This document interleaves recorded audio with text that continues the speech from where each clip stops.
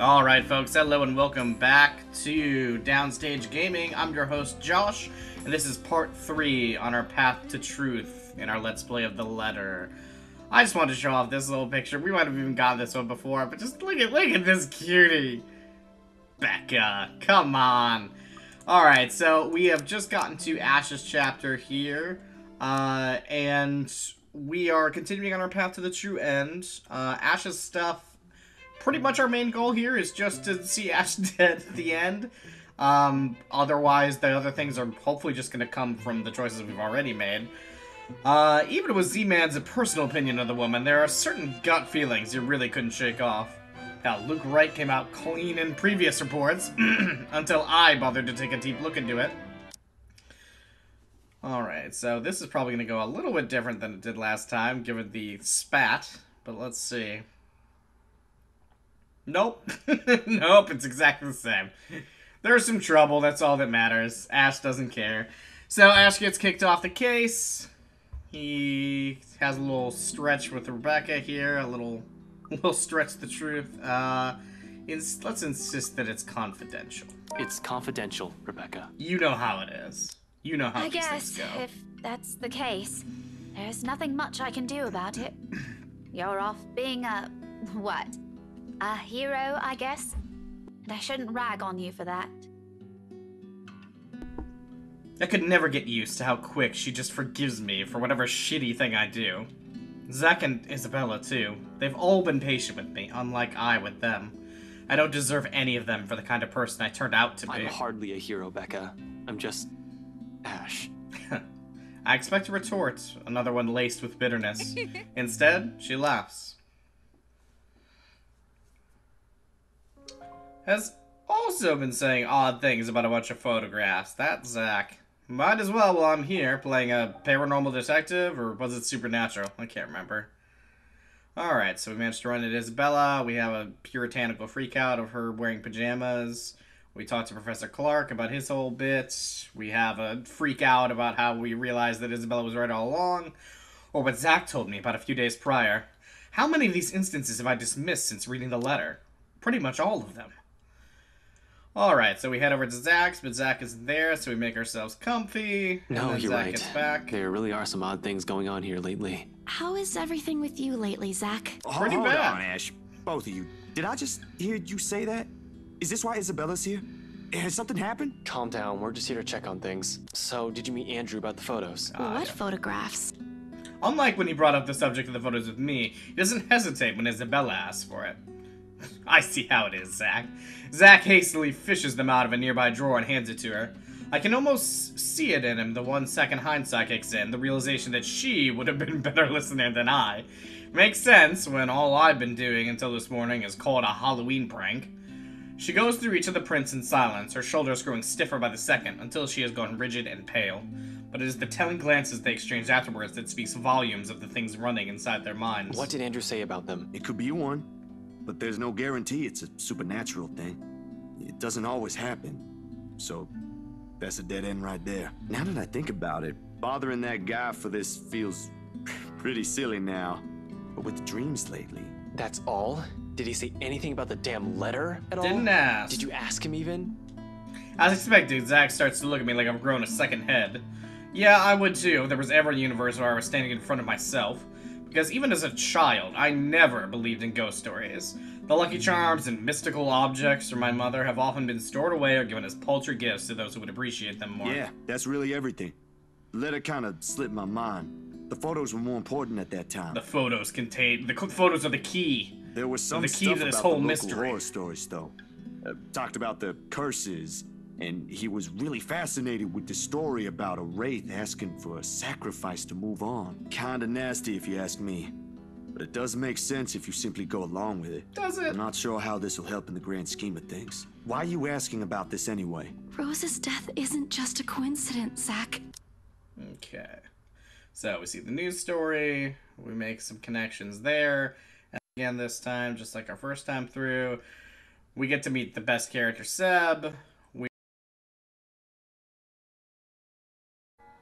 Okay, not quite sure what exactly happened there. For some reason, my recording ended, but let's continue going on here. Didn't really miss much. So, uh, Isabella just told us that her dad has passed away, and we want her to tell us about him. Tell me about him. When? When did this happen? Who did it? Alright, so we make Isabel feel a little bit better there. We go to erase the uh, recording here, but we get freaked out because we see the thing. And then, oh, oh god. Okay, okay, oh, okay, I was not fully ready for this. Five, three, two, six, seven, three, nine, eight, two, seven, one, nine. No, I, I freak out with the thing being there. I really do. Oh my god. Why? Why? I'm so freaked out. just, the visual didn't make any sense. It looked like it was so. I just have to not pay attention to that. I swear to God.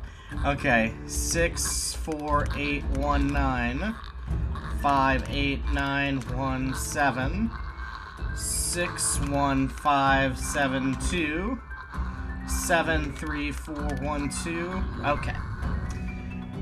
Alright, so we managed to escape down the elevator. We say goodbye to Seb.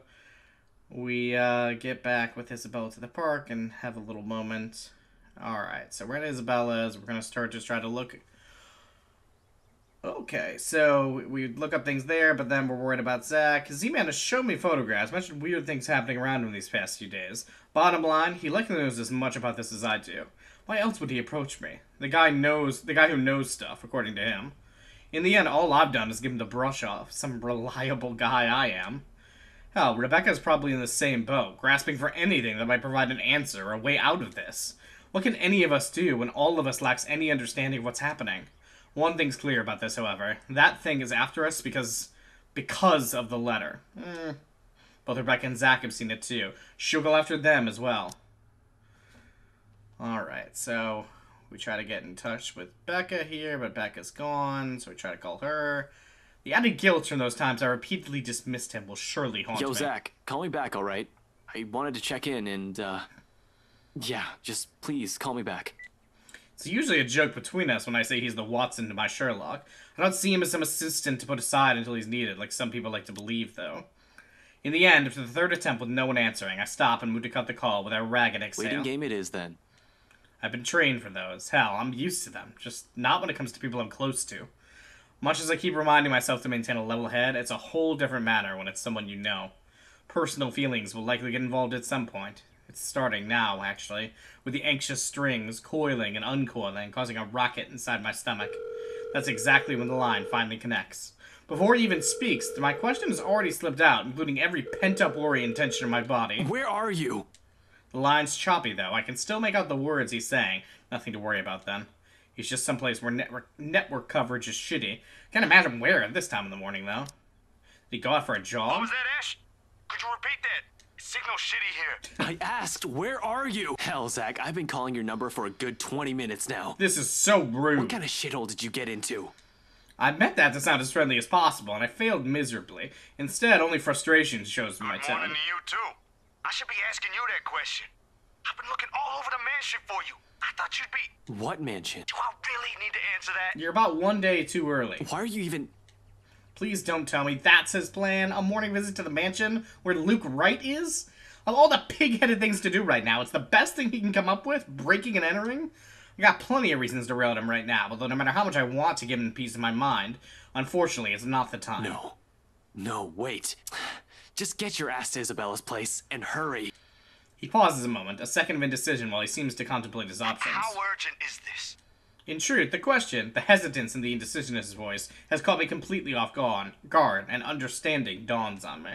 His decision to go there isn't one born of a stupid impulse. He must have found something. However, no matter how urgent it is, he still shouldn't have gone there, alone at that. Despite myself, in that split second comprehension, I allow it to show a weakness. My true self. A simple request brimming with every unease and disquiet causing turmoil within me since last night. It bears a selfish hope that he'll understand, even through the unstable signal, that whatever's keeping him there, he'll be willing to set it aside for now. Pressing enough for you to stop asking questions and get yourself here. Please, Zach. Silence fills the other end of the line again. For a long moment, I assume he won't heed it and I'll have to drive there myself, just to drag him away from whatever danger he's skirting. Thankfully, he agrees. I'll be there in a few. An hour or two tops. Thanks. I'll see you. See you soon. Relief washes me over as soon as the call ends. Normally, I don't let myself a moment of respite in times like this. Gotta stay alert. Rebecca's still out there, has yet to return any of my messages. But for the moment, I relish in it. This is probably the first time I've permitted myself to do so since last night. Even the muscles in my shoulders have been complaining from all the tension I've taken on. It still annoys me that all I can do right now is grit my teeth and trudge back to Isabella's apartment. Useless. That's what I am in the face of this. A mad dash around Luxembourg and Ansem isn't going to help things. It's not like I'll simply stumble across them on the side of the road during a drive. The city's too big a place for one person to go searching for only two people. I'll be lucky if I even glimpse the hair of either of them. With one last hopeful glance towards the open skies, I slip back into Isabella's apartment and close the door behind me. I might have already grown used to this, but the waiting will always, always be the hardest part. More so when it's the people you care about. You're up early. I thought you left. I wouldn't leave you, Isabella. This is not the first time I've seen Isabella like this. Standing casually by a kitchenette, ladle in hand, keeping an eye on whatever's stewing in the stove while humming a soft tune under her breath. Until Zach gets here, until I've received an answer from Rebecca, whichever comes first. Nevertheless, it's clear she has plenty of questions. Alright, so we have some nice... Yeah, of course we're gonna take her offer. There's a nice Thank you. breakfast with Isabella. All of a sudden, a knock breaks the moment, and just as fast, both of our attention shifts towards the source. Before things can get awkward fast, I stand up to open the door while muttering some flimsy excuse in the process. I'll get that. It's probably Zach or Rebecca. Really, I know we're in a pinch, but their timing can't get any worse. Unrelated frustrations aside, once I fling the door open, a whole chunk of that stone that had been stuck in the pit of my stomach simultaneously unseats itself. There, in the hallway, stands Zach, his hand raised, ready for another knock.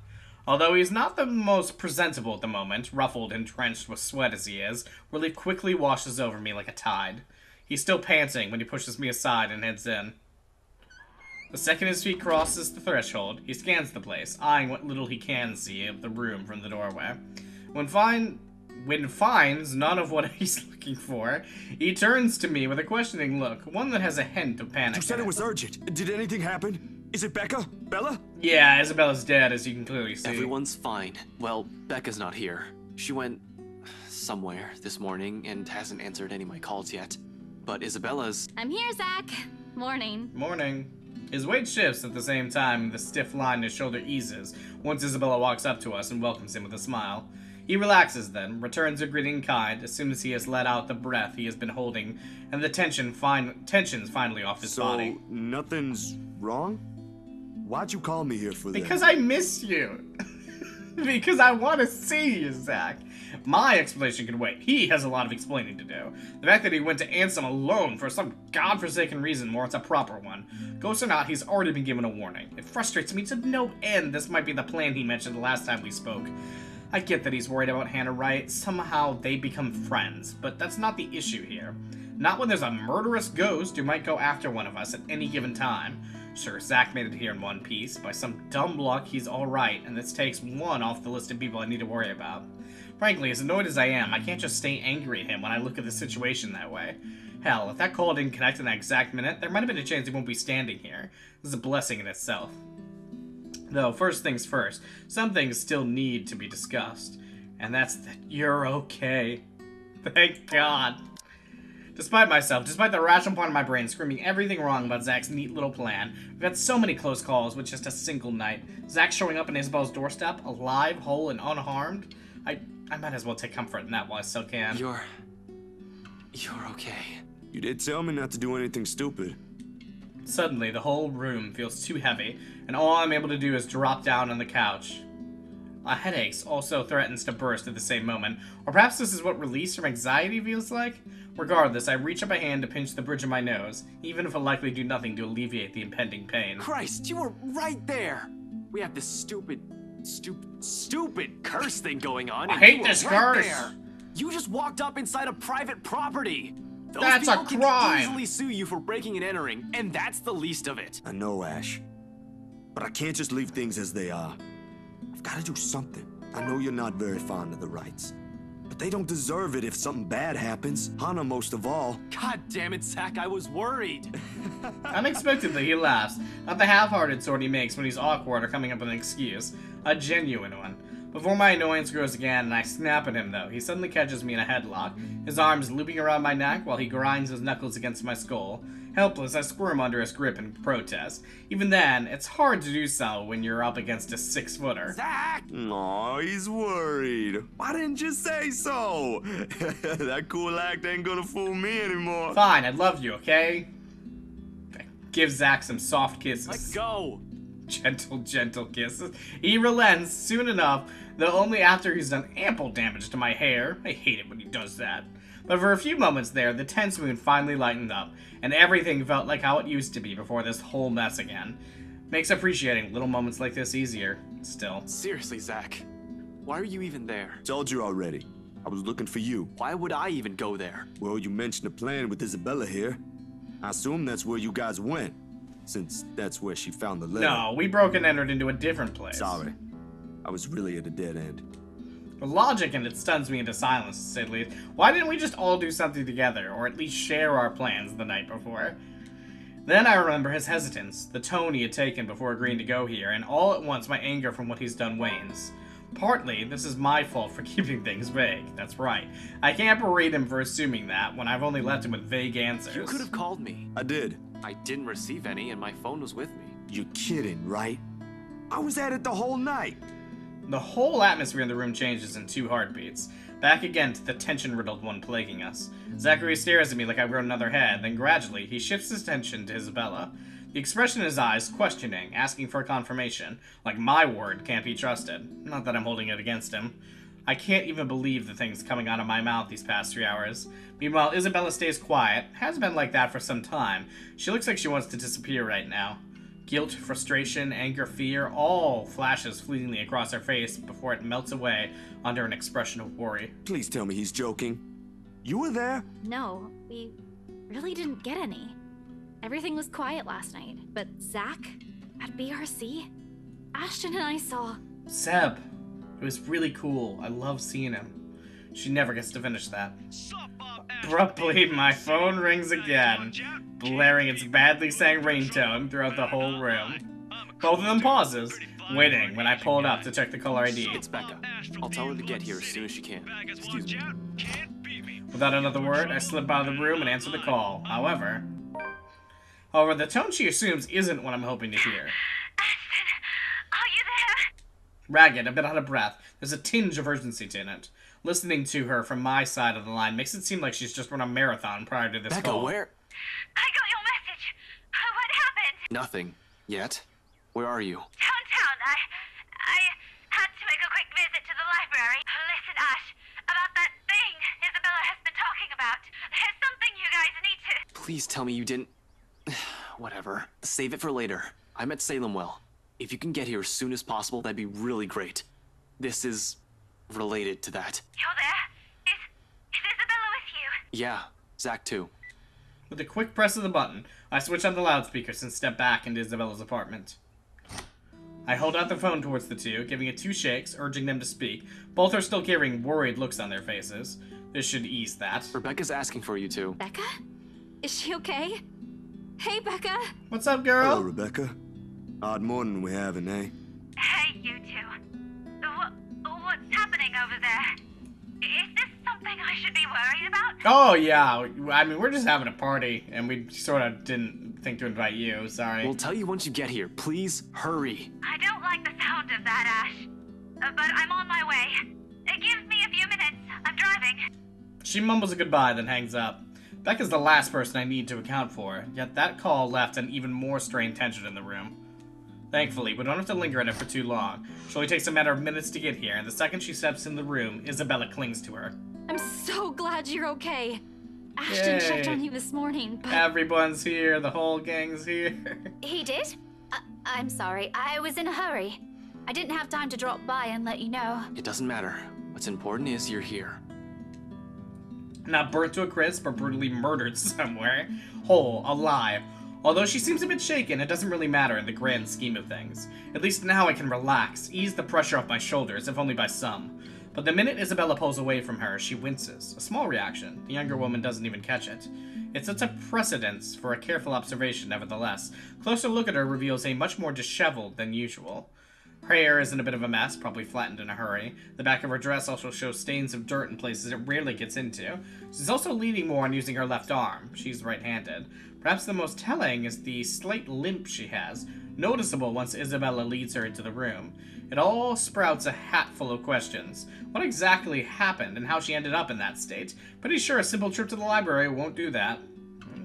You're going to the wrong libraries. I grab for her arm before she can walk past, carefully to avoid hurting her, in case there really is an injury. Seems like it at first glance, but you can't be sure until after a careful examination has been made. I suspect some bruising at least. Although minor internal fractures aren't out of the equation, they have a nasty way of staying hidden.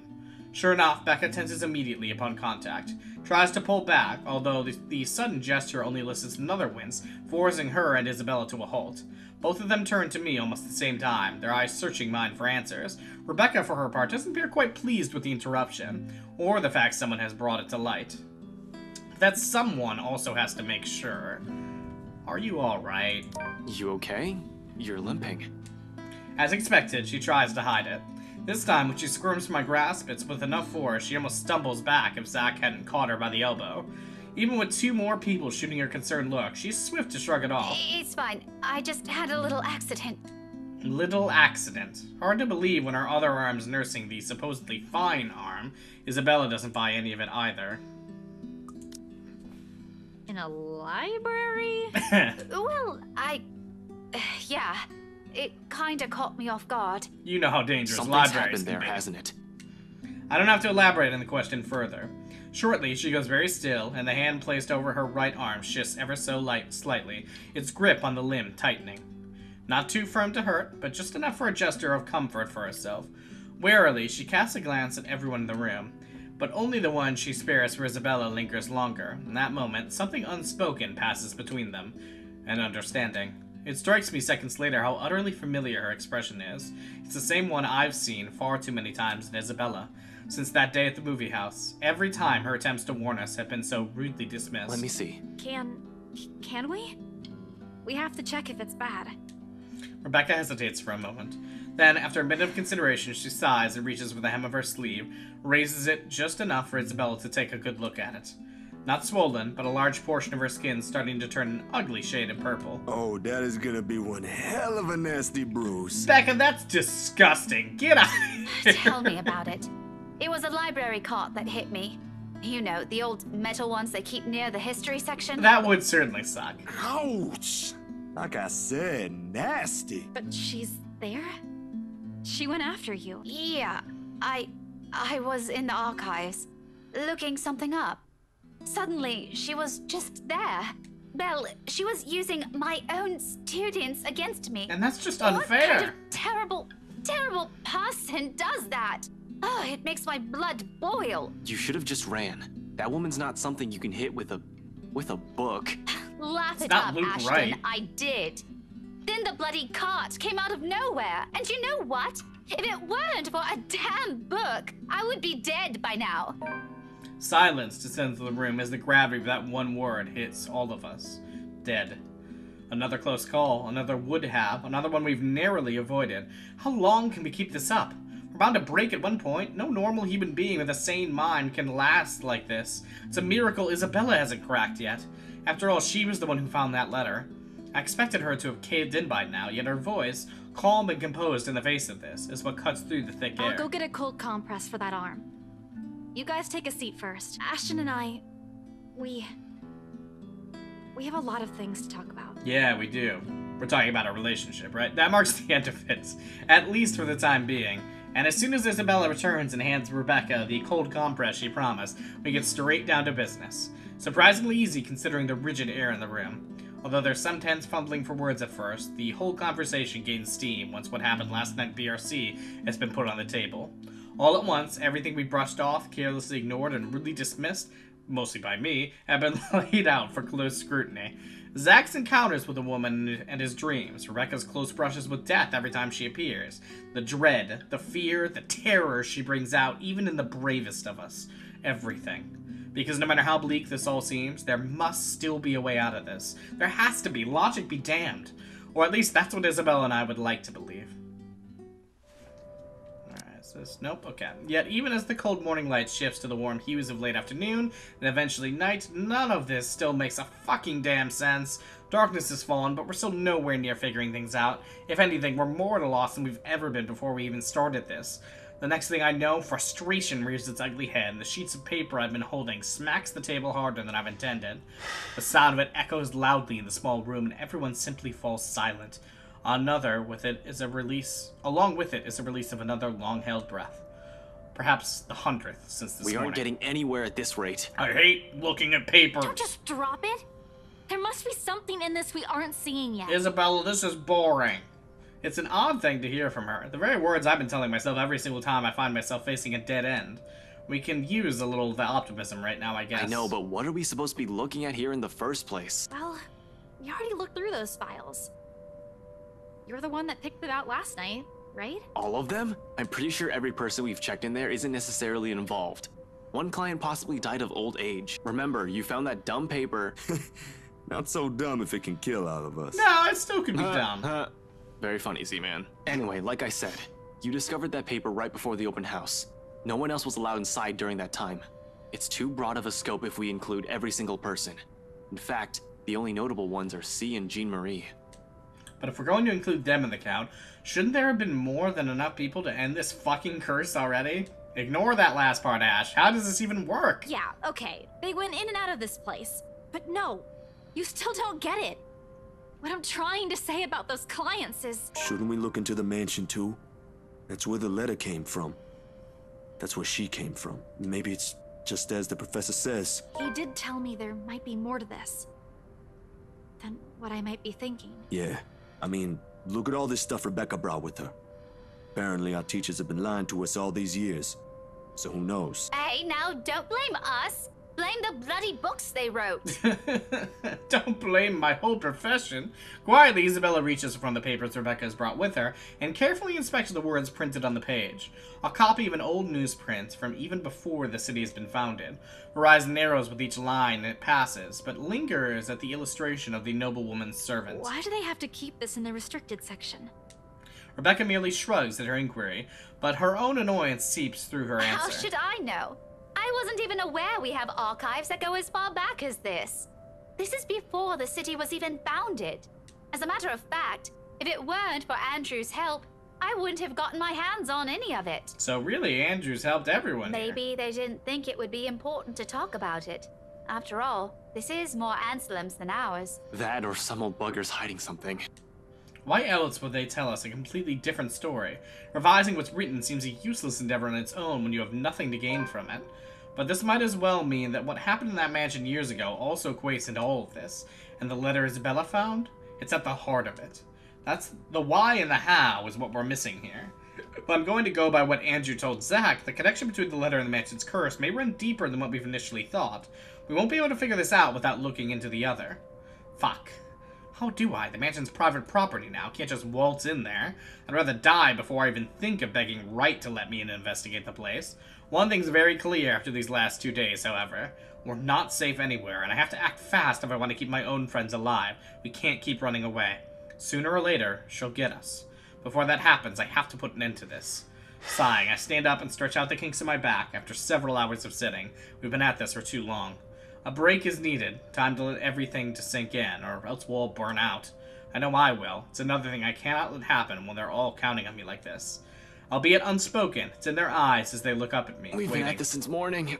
We should take a break for a few. The rest of it never makes it out of my mouth as something heavy and grating sounds from the far end of the room. A harsh booming noise rending through the eardrums of everyone in the room. All at once, the three of them are on their feet while I quickly palm for my gun on the table. I just start shooting the cabinet, randomly. However, before I can pull it up and remove the safety, the whole racket stops. Stillness descends in the room, and amidst the sudden hush, the four of us exchange anxious glances. So much for a break. Ashton, that might be. Gather everything. No questions asked. They waste no time getting to work, piling up the documents we've been reading through. Even Isabella's unusually silent as she gathers everything in her arms, her own movements sharp and precise, a deep furrow in her brow. There's fear, but something hardened and urgent overshadows it. But the moment doesn't last. Before we can even finish it, another noise ups the tension, already gripping the place. Suddenly, the lights go out and the wardrobe at the end of the room rattles, as if something inside begs for freedom. Cautiously, eyes glued to it, I take a step forward and I release the lock from my gun. I'm no trigger-happy person, I'm not even sure if this will work in a ghost, but right now, its smooth surface against my palm, with the trigger on my finger, provides the closest thing I have to relief as I approach the Ashton, closet. what are you doing? I, I don't think that's a good idea. We should just. Worried as they all are, they immediately stop at the slight raise of my hand. But the edge is there while they all huddle in the space between the door and the room. In case this goes south, whatever I find inside, they have enough time and space to run from their position. In two deep breaths, I crossed the room and stood in front of the closet. Whatever's inside has yet to stop thrashing. Instead, it has now moved to banging at the door, louder and louder the longer I dally. Another shallow breath, a glance at my companions, a nod. Something creaks, then, in the next moment, I'm gra grasping at the handles and swing the doors wide open to reveal nothing. Right away, I part the clothes hanging on it, and still none. No ghost, no woman, not a single trace of whatever, whoever, is inside. Confused, I glance back towards my companions, only to see them mirroring the same expression on my face. The noise has finally stopped, but I'm quite sure it isn't my imagination. Or maybe it is, and I'm just too strung up, and my head's making things up. Whatever the case is, we need to get out of here as soon as possible. This only confirms we aren't safe anywhere. Without bothering to close it, I move back, ready to leave, adrenaline now coursing through every vein in my body. In the next second, I'm barking orders and... We should go. Everyone, we need to. I'm sent sprawling my back as something cold catches my ankle and yanks. The resulting fall knocks the wind out of me. Pain racks my whole spine and the back of my head as it collides against the floor with force enough to dislodge my own brain from my skull. A moment lasts before stars fade from my vision, and then I sense it. Cold tendrils twisting around my ankles, the smell of vile rot assaulting my nose, nauseating, sickening. A foul smell draining every feeling in my body. The moment her horrid laughter, still as unpleasant and vicious as last time I've heard it, reaches my ears, my eyes snap open. Perhaps it's just an experience. Maybe my mind still attempting to comprehend this. Regardless, the minute my eyes lay on her, the whole of my body freezes, the gun in my hand turns useless, and my grip on it slackens. It's in the manner her gaze bores on me, I'll say. The look of utter hatred and malice, I've seen it loads of times. Some suspects, mostly murderers, who've never regretted their actions despite being caught. This is the face of someone you can no longer reason with. And I know the moment she laughs again and starts dragging me toward her, it's already going to be the... Snap out of it! No, I can't die here. Not yet. The haze, haze fades from my mind and instincts kicks in, then Everyone there. out! Get out! Get out! With one powerful tug, I yank my foot out of her grip and scramble back to my feet, ignoring the piercing wail she fills the room with. Within the span of a second, I'm gunning for the door, grabbing the wrist of the first person my hand can reach and leading everyone out. Into the hallway, down the flight of steps, and right inside my car. I waste no time lowering the glass gas pedal the second the last person closes the door behind them. In a short while, I'm driving us out of Salemwell. I don't even entertain the thought of winding down just yet, even as the last of the woman's painful cries fade into the night.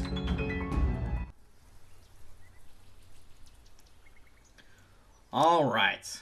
Well, I was hoping that we'd be able to get a little further into uh, Ash's chapter this time, but that's no problem. I know they kind of...